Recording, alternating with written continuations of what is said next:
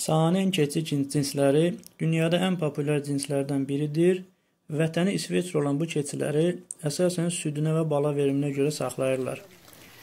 Bu keçiləri yerli keçilərlə cütləşdirib yaxşı keçi cinsləri də əldə edə bilirlər. Əgər keçi biznesi ilə məşğul olmaq istəyirsinizsə, təmiz qan keçilər almaq məsləhət görülür. Amma ümumiyyətlə 8 e, aylığında oğlaqlar əldə eləyib iqlimə və ətraf mühitə alışdıra-alışdıra 13 aylığında elə ki, bunlardan bala alıb bu şəkildə sürünü düzəltmək də məsləhət görülür. Sanen keçilərinin əsas özəllikləri ilə tanış olaq. Bu cədvəldən də göründüyü kimi bunların diri çəkisi 55-70 kiloqrama kimi olur. Döl verimləri yüksəkdir, yəni 200% 2 bala verə bilirlər. Laktasiya dövrləri isə 270 gün olub. Bu dövr ərzində 600 kiloqrama yaxın süd verə bilirlər. Südlərinin yağlılığı yaxşıdır, 3%-ə kimi olur. Beləliklə sürünün günlük e, süd verimi ortalama 2-3 litrə yaxın olur.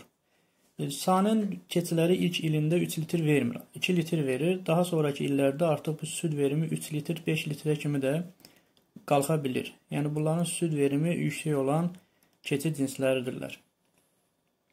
Cədvəldə sanen keçilərinin yerli keçilərlə fərqi də aşkar görünür. Sanen keçiləri bordaq şəraitində çox rahatlıqla saxlana bilir. Yemləməyə qarşı e, çox tələbkar olmurlar.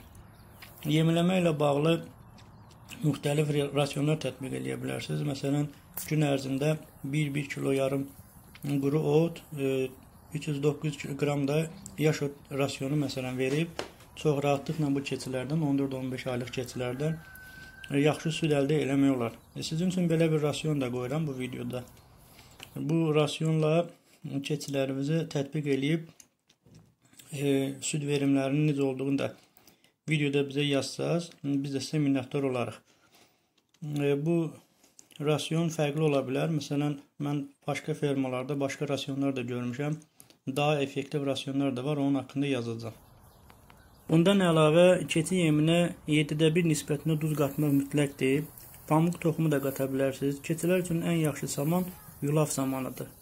Kartof da südü artırır. Arpa, qarğıdalı, kələm, yulaf bunlar da keçilər üçün ən uyğun yemlərdir. Yaşıl yemlər mütləq soldurulu verilməlidir. Bu şəkildə heyvana daha effektiv olacaq. E, ümumiyyətlə 10 keçiyə 2 kip yonca səhər axşam 1 kiloqram yaxın da arpa buğda qarışığı verə bilərsiniz. Dediyim kimi keçilərin saxlanması bordaq şəraitində mümkündür. Bunun üçün bu e, belə hardasa 1 kvadrat metr, 1.5 kvadrat metr yer ayrılmalıdır hər keçi üçün. Gəzinti yerləri isə bu hesabladığınız keçilər üçün bordaq yerindən, yəni tövlədən 2 dəfə çox hesablanır. Və bu şəkildə keçiləri çox rahatlıqla, yəni 10 keçini 15-20 kvadratlıq yerdə 40 kvadrat da gəzinti yeri ilə çox rahatlıqla saxlaya bilərsiniz.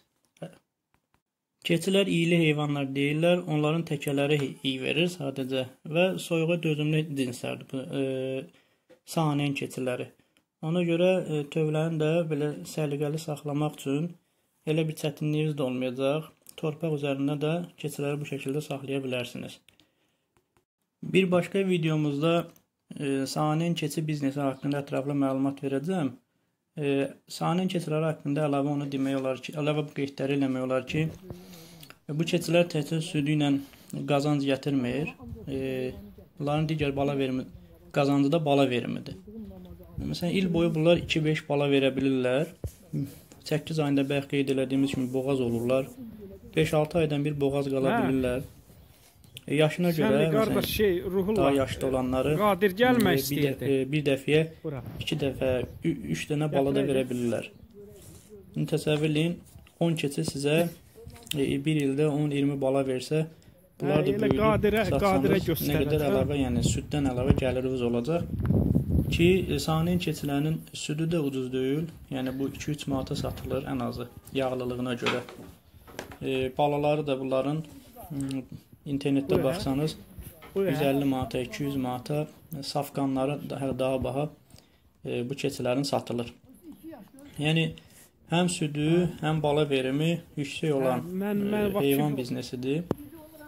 E, bunun qarşılığında isə yem rasionunda bunun çox günlük yem rasionu çox ucuz olan bir heyvandır. Yəni Avropalılar bunu elə inkişaf elətdiriblər ki, az yesin, az əziyyət versin və çox qazanc gətirsin. Allah bərəkət versin qardaş. Elə bundan bir dənə alıb saxlasan. Elə bir inək saxlayırsan.